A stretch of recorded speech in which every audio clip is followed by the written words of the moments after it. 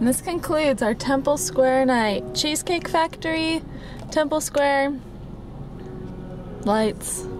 And parking Time. will probably last long enough that we could count it as an event of its own. This is the same situation we were in when we were trying to park. Cars, cars.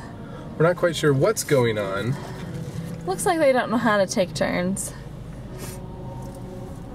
Oh well. We'll get out of here one of these days. Hopefully, crossing our fingers. And we love each other. So. And we love each other. That's the important part. All right.